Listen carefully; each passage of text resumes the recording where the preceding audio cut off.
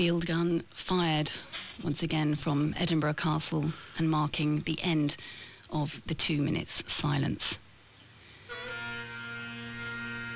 In Balmoral, the piper now playing the traditional Scottish folk tune, Flowers of the Forest. Prince Charles is now stepping forward to place his wreath to remember those who died and whose lives were forever changed in the Second World War. The wreath of poppies he's now placing underneath the Celtic cross of the Balmoral War Memorial is the same wreath he lays at the cenotaph on Remembrance Sunday. He's bowing his head now.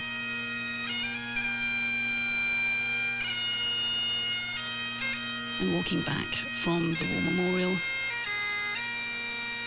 the Duchess of Cornwall now laying flowers between uh, beneath the cross.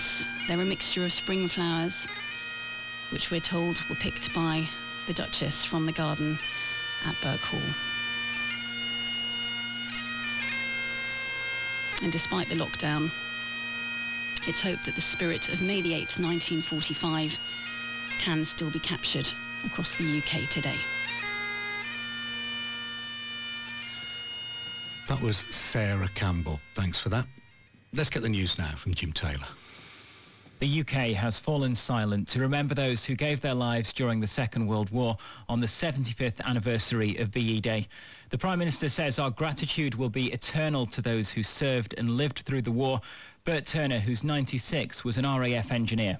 You were all scared that you were going to be the one that failed. And I think that's what pulled us through the camaraderie of the crews. There's, uh, there's nothing glamorous about it. We, yeah, we were happy to have survived.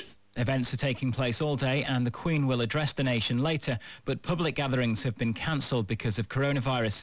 The Chief of the Defence Staff, General Sir Nick Carter, says today will be tough for the veterans in care homes it's times like this where we all need to come together and recognise that this is a national effort, it's a national enterprise, what we're doing.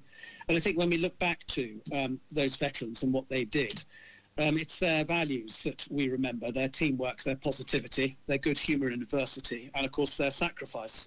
And I think they gave us hope, uh, and I think that's the most important thing we can all have at the moment.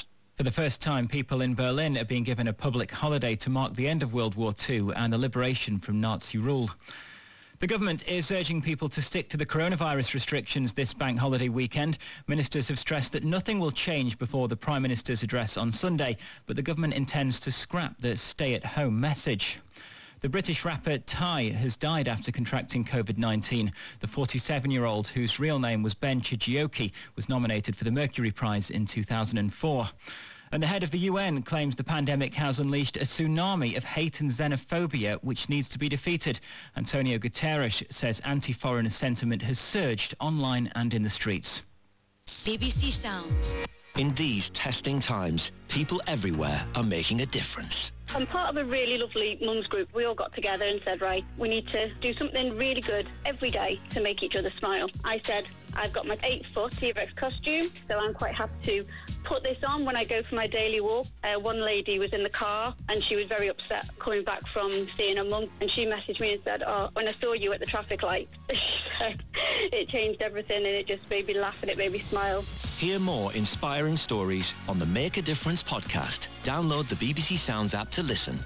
The BBC, bringing us closer.